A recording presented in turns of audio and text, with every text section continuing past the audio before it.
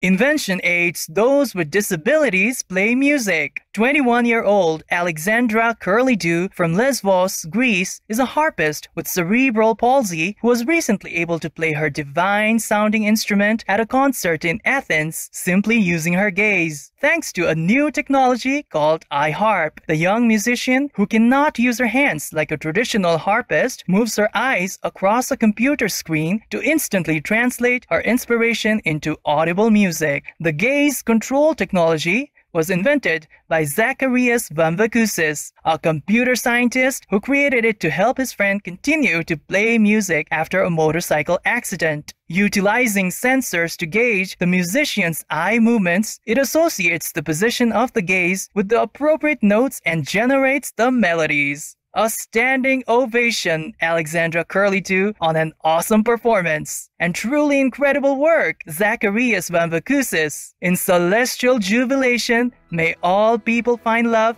and happiness in music and art.